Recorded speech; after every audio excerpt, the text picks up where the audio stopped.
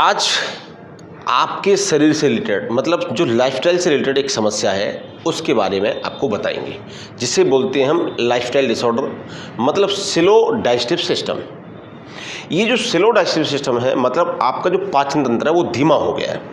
अब ये जो पाचन तंत्र है, इसका धीमा हो गया इसके कितनी सिम्टम्स हैं?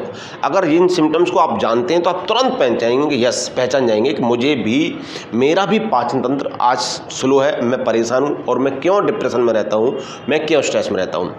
आज के समय में देखा गया है कि ज़्यादातर जो व्यक्ति होते हैं, उनका पेट बहुत अच्छे से फूलना बंद हो चुका है। पहला सिम्टम सर जी, फुलाइए। ये जो पेट है, ताकत के साथ फूलता है और ये प्रॉपर फूलता भी नहीं है। अब ये जो पेट है, नाभि जो नाभि के आसपास ये जो इलाका है, इनका ये वाला, ये हमेशा स्लो डाइजेस्टिव सिस्टम वाले का कड़क मिलेगा। सर जी, ढीला छोड़िए। ये देखिए, ये ये देखिए ये देखिए, ये ये देखिए इनको। ये कड़क मिलेगा और इनमें दर्द मिलेगा। ये ये। तो जो छोटी आंत है जो ये छोटी आंत है, ये इसका मतलब टाइट हो गई है। बड़ी आंत, जो बेस्ट प्रोडक्ट है उसको प्रॉपर निकाल नहीं रही है। स्टमक जो है, जो हम खाना खा रहे हैं, उसको प्रॉपर गला नहीं रहा है। आप देखिए कि स्लो डाइजेस्ट में कितनी सारी समस्याएँ हमें आ जाती हैं। कैसे हम उससे जूझते हैं आज के समय में? कैसे हमारा लाइफस्टाइल आज के समय में ख़राब है? और कैसे हम लाइफस्टाइल के कारण अपने शरीर को एकदम ख़त्म करते जा रहे हैं?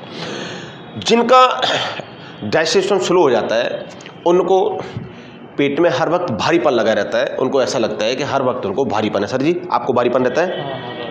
रहता है? जी। उस व्यक्ति को परमानेंट गैस बनती रहेगी। डकार आएँगी। उस व्यक्ति को एसिड बनेगा। उस व्यक्ति के पेट में तनाव रहेगा, खिंचाव रहेगा। ऐसा लगा रहेगा कि मेरा पेट हर वक्त किसी ने कुछ डाल दिया है, इसमें कुछ कुछ लगा हुआ है।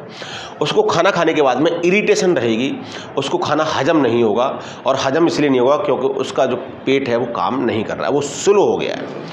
उसको नींद की समस्या रहेगी, परमानेंट ऐसा रहेगा कि वो नींद में, जैसे जैसे झूलता रहेगा नींद में, वो डिप्रेशन में रहेगा, नेगेटिव थॉट्स आएँगी। रात को भी कई बार उसको ऐसा महसूस होगा कि मुझे किसी तकलीफ़ में हूँ, इरीटेशन में हूँ कोई ना कोई उसकी कुछ समझ ही नहीं आएगा। फिर दिन में कई बार ऐसा रहता है कि व्यक्ति ऐसे मुरझा ऐसा रहेगा मुरझा ऐसा रहेगा बिल्कुल मुरझा ऐसा रहेगा। सर जी ये सिम्टम्स आपके ऊपर फिट बैठते हैं?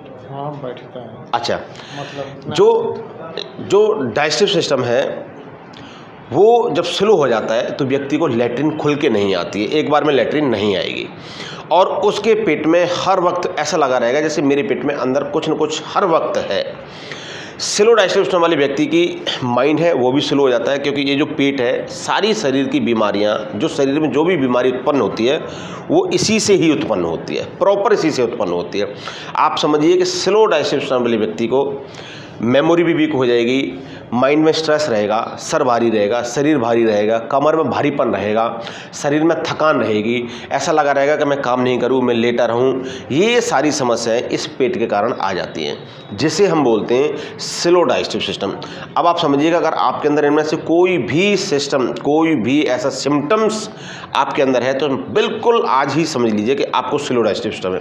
स्लो डाइजेस्टिव सिस्टम वाले व्यक्ति के पेट में हर वक्त दबाने पर या हर वक्त बिना दवाई भी इरिटेशन रहेगी, ब्लोटिंग रहेगी अफारा।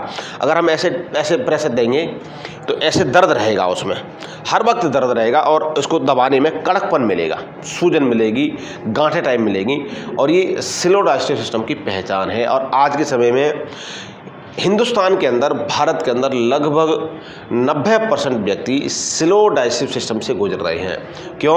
क्योंकि आज के समय में इंसान शरीर को भूल जाता है और काम को ध्यान रखता है। काम के कारण वो अपने शरीर के ऊपर समय नहीं देता, इसलिए उसका शरीर बिगड़ने का सबसे बड़ा कारण है। लाइफस्टाइल जो आज के समय में चल रही है, वो बहुत ही बेकार है, जिसके कारण व्यक्ति का जो पाचन तंत्र है, वो एकदम बेकार चल रहा है।